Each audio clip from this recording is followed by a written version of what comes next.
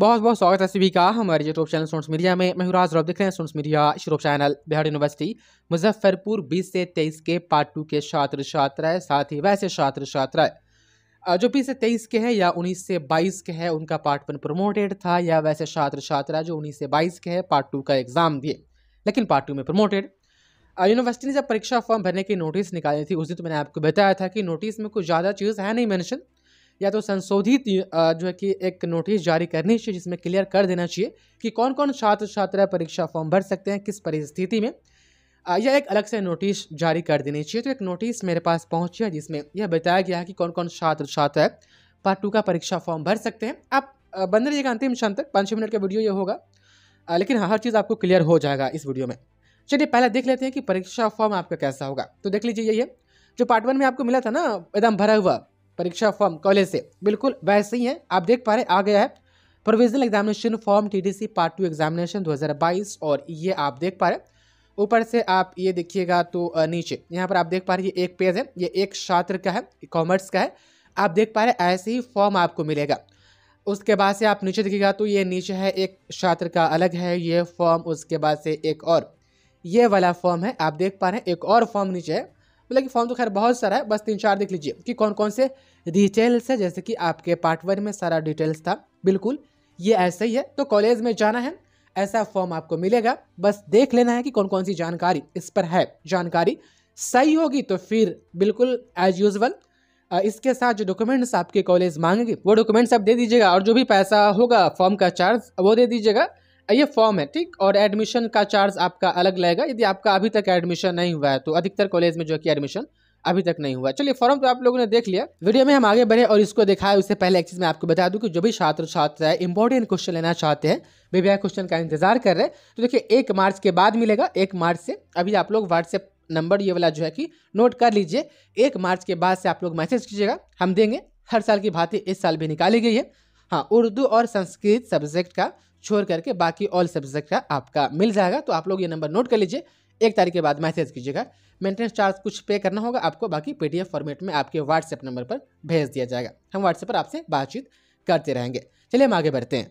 अब चलिए दिशा निर्देश देख लीजिए कि किसका, वो प्रोविजनल जो फॉर्म मैंने आपको अभी दिखाया है, किसका आएगा और किसको अलग से फॉर्म भरना पड़ेगा, किसका वो प्रोविजनल फॉर्म नहीं आएगा, इस निर्देश में देखिए। पॉइंट नंबर वन में तो पहले की है कि डेट है कि दो मार्च तक फॉर्म भरा जाएगा। दूसरा है कि प्रोविजनल परीक्षा पत्र महाविद्यालय द्वारा यू पोर्टल से डाउनलोड किया जाएगा। मतलब कि वही वाला फॉर्म जो अभी हम दिखाया ना आपको, ये आप खुद से डाउनलोड नहीं कर सकते हैं। कॉलेज डाउनलोड करके देगी, क्योंकि कॉलेज को ही एक्सेस दिया गया है। कॉलेज अपने आईडी पासवर्ड से उसको डाउनलोड करेगी और आपको देगी तो आपको कॉलेज में ही जाना पड़ेगा। ऑनलाइन कोई गुंजाइश नहीं बिना कॉलेज जाए। अब देखिए तीन तीन नंबर में जो है कि प्रोविजनल परीक्षा पत्र मतलब ये जो फॉर्म जो है परीक्षा फॉर्म जो भी मैंने आपको दिखा है, वो सिर्फ़ बीस से तेईस के छात्र छात्राओं का ही जारी हुआ है, दूसरे का नहीं। अच्छा चार नंबर में देख लीजिए कि महाविद्यालय स्नातक पार्ट वन उत्तीर्ण अथवा प्रमोटेड छात्रों को ही प्रोविजनल परीक्षा प्रपत्र देंगे। यानी यदि आप बीस से तेईस के हैं, आप पार्ट वन पास है, या पार्ट वन आप प्रमोटेड है, फिर भी आप फॉर्म भर सकते हैं। प्रमोटेड वाले पार्ट वन और आपका भी भरा हुआ फॉर्म आया है यूनिवर्सिटी से, ठीक? आपके कॉलेज में मिलेगा। यदि आप फेल है तो खैर आप फिर पार्ट टू का नहीं भर सकते हैं। अच्छा पाँच नंबर पॉइंट में देखिए, इसमें अठारह से इक्कीस वाले को भी मौका दिया जा रहा है और उन्नीस से बाईस वाले तो है ही कि अठारह से इक्कीस एवं उन्नीस से बाईस के स्नातक पार्ट वन उत्तीर्ण अथवा प्रमोटेड छात्र ही टीडीसी पार्ट टू परीक्षा प्रपत्र के लिए माने जाएँगे माने होंगे।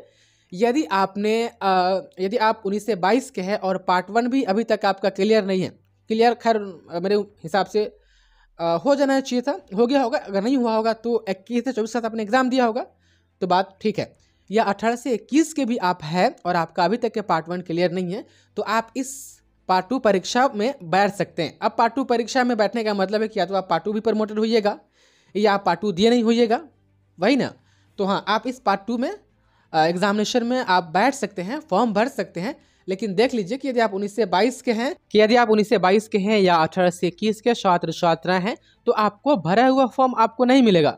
आपको एक सादा फॉर्म मिलेगा जो कि आपको खुद से भरना होगा। हम एक आध दिन में बताते हैं कि प्रमोटेड वाले छात्र छात्राएँ प्रमोटेड का फॉर्म किस तरीके से भरेंगे पार्ट टू एग्जामिनेशन में अपेयर होने के लिए। बस एक आध दिन और रुक जाइए।